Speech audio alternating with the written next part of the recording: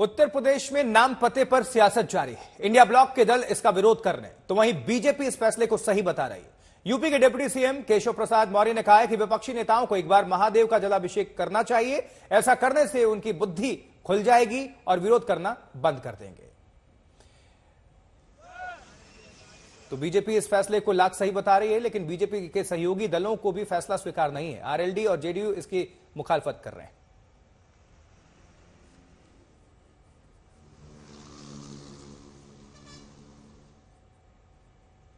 विपक्ष भी जाके कांवर लेके जाए और बढ़िया जाकर के भोले बाबा को जल चढ़ाए। बुद्धि में विकृति आई है वह विकृति खत्म हो जाएगी।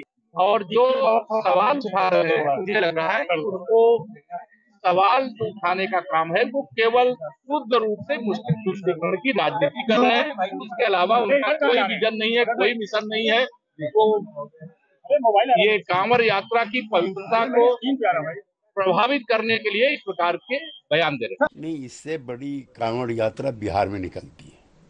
वहाँ इस तरह का कोई आदेश नहीं है।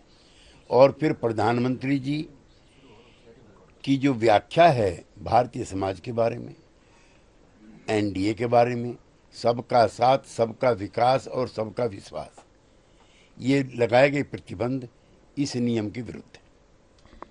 अब देखिए योगी मैं कह रहा हूँ योगी जी का और ओवैसी के बयान पर मैं कोई बाध्य नहीं हूँ।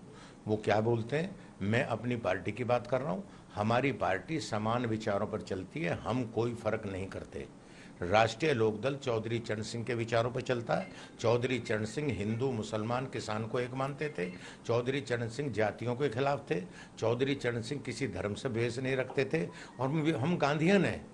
तो हम कैसे कह देंगे कि आप जो है मीट की दुकान बंद करो और शराब पिलाओ लोगों को? तो पहले शराब की दुकान बंद करो है मेरी मांग है। जो मीट की दुकान बंद करने की बात कर रहे हैं तो मेरी मांग है शराब की दुकान बंद करो। दिस इज़ होली होली यात्रा है। ये पवित्र यात्रा है, इसमें शराब की दुकान बंद करो।